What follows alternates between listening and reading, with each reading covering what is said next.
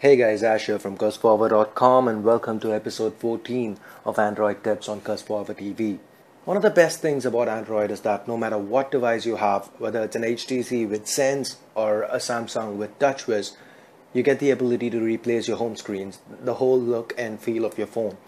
So we use some things called launchers to do this. And in this video, we're going to take a look at the best launchers that Android has to offer. So enough with the blah blah blah, let's get started and uh, just keep in mind if you like the video, don't forget to hit like and subscribe. So guys, the first launcher on the list is TSF Shell. This is a paid launcher but it has some amazing features. So let me just show you. This is the app drawer that you get with TSF Shell and uh, these are your home screens what I like about this launcher is uh, it is a little bit different from every other launcher out there in uh, the Play Store. As in regards with, let me show you. Say you have an icon over here. You can just turn it around. You can even stack icons over each other. And you get some uh, nice little uh, widgets as well. So these are all widgets that you get. That's the weather widget there. And this launcher also does something uh, nice with folders. So this is a folder that I have. And uh, you can just open the folder up to see the apps inside. But uh, if you don't want to do it the regular way you can just take the apps out. And you can just open up any app you want. And you can just do it uh, anyway. Just tapping this puts everything back into the folder. Again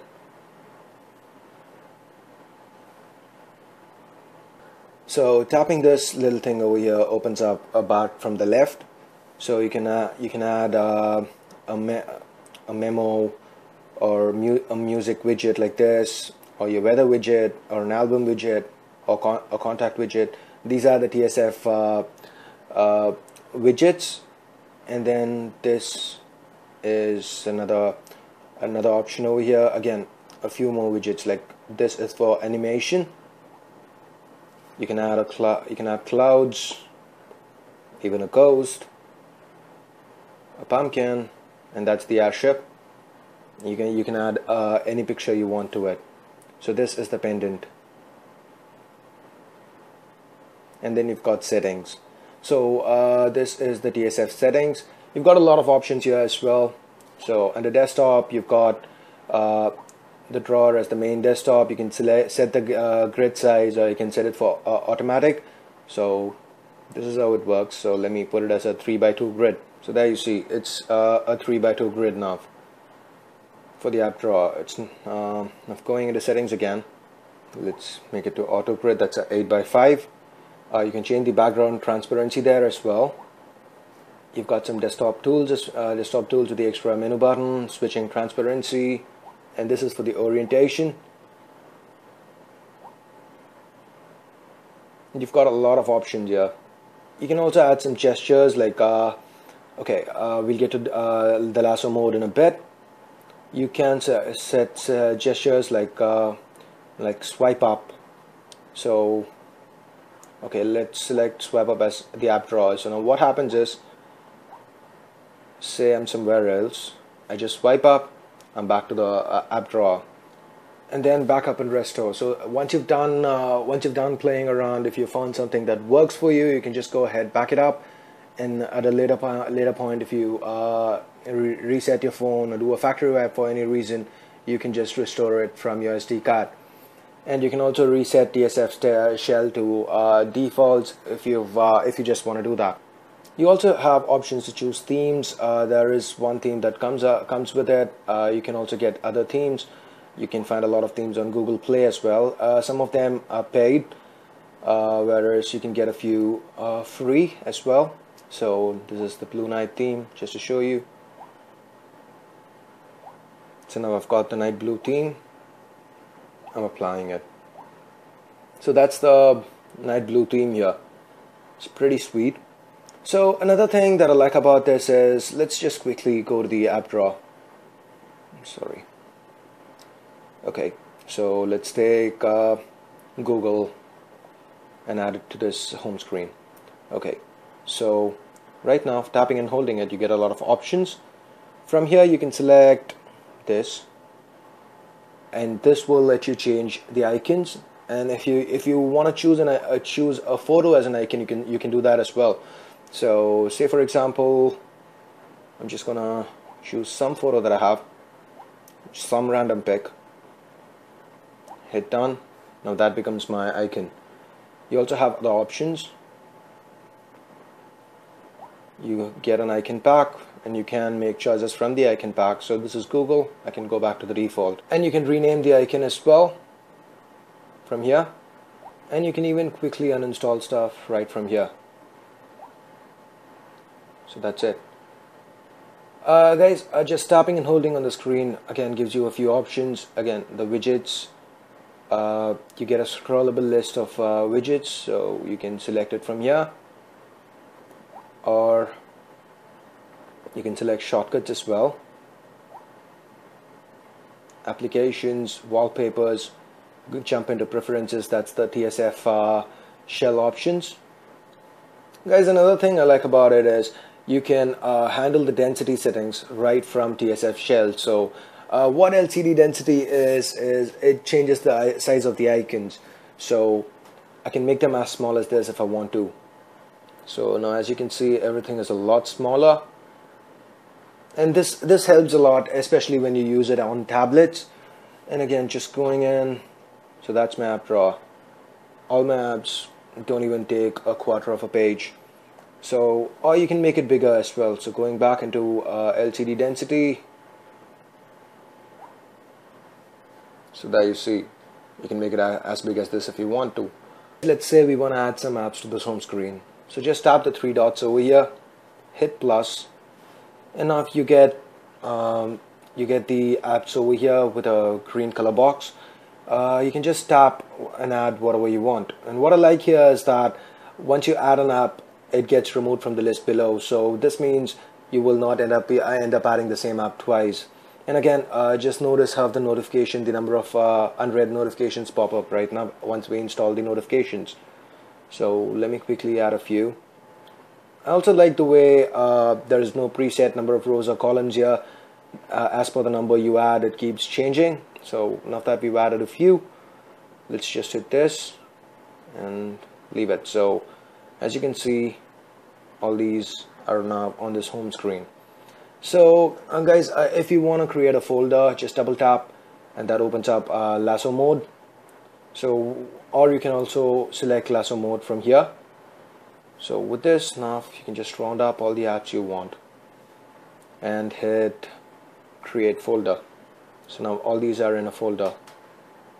So you can just drag them out select what you want and, and then put them back in uh, you also have a lot of toggles over here as in Wi-Fi, Bluetooth, airplane mode, ringer and so on it's been almost 9 minutes and we've just barely scratched the surface on what the TSF shell can do so if you guys like it, go ahead, get it from the Play Store. The direct link is in the description. So the next launcher on the list is Launcher 8. So as you can see, what it does is it, it imitates the uh, Windows Phone 8 interface. So to show you guys how good this actually is, let me pull up my Lumia 920. So that's the Lumia 920 running Windows 8. Just turning off both phones and you can see even the lock screens are similar. Even the status bar on top is similar. So guys, the launcher it comes with a lot of options. So just hitting the menu button and going into theme, you get a lot of options here. So first you've got tile theme. So you can you can even choose custom colors here. You've got a lot of options to choose from. We are currently leaving it at yellow.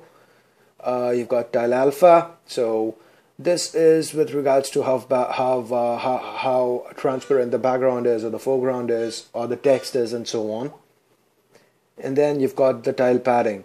So right now it's at 10 points. So say let's move to 12 16 so as you can see uh, the space in between increases then uh, you can you have the option to show text on one, one is to one I mean one into one tiles. So like the small ones have text displayed. Uh, the background color. You can change it to a wallpaper. So if you want to mix of Windows and Android so uh, just changing it to wallpaper now means uh, despite having a Windows-like interface you still get a wallpaper behind so again guys just like with TSF shell you can save uh, once you have a certain uh, uh, home screen set up you can save it here and save the theme here and you can load it again uh, at a later point. With the status bar you've got your Windows Phone 8 kind of status bar. You've got the normal system status bar or you can hide everything altogether. You can add other lifestyle settings uh, like the menu tile or the time tile, uh, live contacts so that uh, the contact icons keep refreshing, the gallery, uh, and so on. You also get a settings theme, so the uh, the other option here just changes the settings theme, the look, or you can stick to Windows uh, Windows Phone 8 style settings. And then you've got the lock screen settings, and then you've got the app list. So you've got multiple ways of displaying the apps and uh, again you can follow theme color and so on. A lot of features here guys including uh, app filters to hide certain apps. So right now going to the right here you get the Windows uh, Windows Phone 8 style of uh, apps being listed. So yeah this kind of gives you the illusion of having uh, Windows 8 on your phone. But then again you just go ahead open up the dialer you're back to your familiar TouchWiz interface the Android uh, interface that the Galaxy S3 ships with or whatever interface that your phone has. But over here you get an extra option. Just tap and hold. Yeah, you get your general uh, resizing the tiles. Uh, and you get an edit option here. So with this, you can change the color of individual tiles. So you can make this one tile alone look green. You can set the tile size. And you have something called bind application. So over here, by default, it's bound to the phone app. You can change it. Say I have the Windows 7 dialer, a free app that I downloaded from the Play Store, Windows Phone 7 dialer. So let me select that. And you can also set the notification so in case you get a missed calls or something, it will show up. So now if I tap this, it takes me to the Windows Phone dialer. So again, you got a lot of apps that can simulate Windows uh, Windows 8 in the Play Store. So say you get a music app that simulates Windows Phone 8, you can again bind it to this uh, tile so that you get a richer Windows uh, kind of experience. So that's what I really like about this launcher. That's uh, launcher 8 for you. So guys, the next launcher on the list is Nova Launcher. So uh, what I like about the Nova Launcher the moment I open it up is that it comes with an import from another launcher option or rest of uh, previous Nova backup. So right now I've been using TouchWiz on this phone uh, mostly. So I can just hit this and I can import stuff from TouchWiz. Alright, so if you have root it's fine. If you don't have root you can still import it. Let's quickly go into settings. That's Nova settings. So under desktop you can change the desktop grid that is how many rows and columns are displayed uh, you can make it as much as you want so uh, let's leave it at 5 by 4 uh, the width margin on the left and right height margin the persistent search bar if you want you can set it so let me put it as always. And you can also select the Google search bar style that's the ICS and Jelly Bean versions. And then showing shadow uh, you've got home screens to see uh, all your home screens. You can add more if you want. You can add up to nine home screens and you can just swap between them. Just tap and hold and move them around or just delete them. So that's the home screens. Going back into Nova settings uh, again the dock is scrollable as in you can have more than just five uh, icons over here just scroll through and add more. So say for example, I wanted to add gallery to the dock. There you go. This is my normal dock. Swipe to the left and I get gallery and uh, pull one, put it over the other. Easy creation of folders. And you can also save your settings, backup and restore. And uh, you have the folders option. So the folder preview as a stack or a grid or as a fan. So you can select from these options. Uh, the background can be a circle, square, platform, disk, you can even select a custom background I mean custom background so again the uh, background transparency for the window as far as look and feel go you can change the color theme so let's change to yellow okay going back. Once you change the color theme, little things like uh, the bar over here turns yellow. Uh, and then you can also rename for folders easily by just tapping over here and entering any name you want and the color over there uh, also corresponds to, uh, to, the color you select on your theme. Screen orientation the scroll speed uh, the animation speed. Animation speed is like when you open up the app drawer how fast it opens up. You see a little uh, transition there like uh, you saw it right now when it just uh, kind of went off. Like this that's the animation theme there I mean the animation speed you can change that from Nova settings as well. And similarly the app animation that is when you open an app you kind of see it popping out that uh, you can change that speed as well. You can also hide the notification bar completely if you don't want it.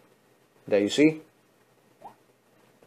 No settings and you can even hide the dock if you don't want it so uh, you can also select an infinite scroll for the uh, for both the dock as well as the desktop so what infinite scroll does is now you can just keep scrolling through the dock. Once you're done, once you're gone past the third one, you come back to the first one. Similarly, with uh, the desktop as well. And now going into the app drawer, you got you've got uh, by default you get a 5 by 4 grid. You can change that again from the settings, and you get the widgets as well. Tapping and holding an icon, uh, you can edit it so you can change the change the icon. You can get an icon icon pack. The ADW and Go Launcher icon packs will work here, or you can also get your own icon from the gallery. You can also rename uh, the shortcut. Again, tapping and holding here, you also get uh, Nova actions. So uh, you can select from a bunch of Nova Nova actions like show previews. Uh, so now you can select it and uh, add show previews to the dock. So now hitting it will show you the previews of all your home screens. You also have the option to resize all widgets even if they are in designed to be resized. You can force it to be resized and then you can allow widget overlap. And you can also uh, allow overlap of de desktop items. I'll get to that in a second, guys. Uh, as far as lock desktop goes, again, similar to the pre uh, previous launchers that we saw, locking the desktop means uh, you won't be allowed to make any changes, which means you cannot uh, uh, you know delete anything in error. So let's talk a little bit about widget overlap. So say for example some widgets like the clock widget I'm not gonna actually tap it and do anything. Uh, so I might add a different widget. Say for example uh, let's say my music player. Alright? And I might want to place the music player player over it and pull it down. So now you can see that I still I can still check the time but uh, my clock widget isn't really taking a lot of space. I, I can uh, still look at the uh, tracks that's playing on my music widget. At the same time I can still use my clock widget as well so overlapping widgets definitely becomes an added plus when it comes to tweaking your phone and getting that extra level of customization now apart, apart from this going into Nova settings uh, you also get a transition uh, a scroll effect so with the free version, you just get three options, none, cube, and uh, card stack. If I'm not mistaken, the uh, Nova Prime should give you a lot more options. So uh, the card stack, this is the card stack. And you just saw the cube, uh, just going into Nova settings, desktop, scroll effect, cube. And you can also set the wallpaper whether you want to do uh, scroll or not. Uh, that's just it. So you turn off scroll the wallpaper is going to remain stationary and there you see a cubic transition when you uh, move between home screens so that's Nova Launcher for you guys. Uh, it's available from the Play Store and the direct link is there in the description. So that's all the time we have for this episode. We will be taking a look at a lot more launchers uh, in coming episodes. So make sure you, see, you stay subscribed. And before you go, make sure you hit the like button because every time you hit like or subscribe it, it increases the odds of YouTube suggesting this video to others so go ahead help me out hit the like and subscribe buttons so hope you like this video thanks a lot for watching if you have any video requests for me uh, or if you just want to stay updated on my latest updates and videos you can hit me up on uh, Facebook Twitter or Google all my contact details are in the description so that's pretty much it for episode 14 of Android Tips I'll see you in the next video. Till then, it's Ashia from Cursed4eva.com signing off. You guys have a great day. Bye bye now.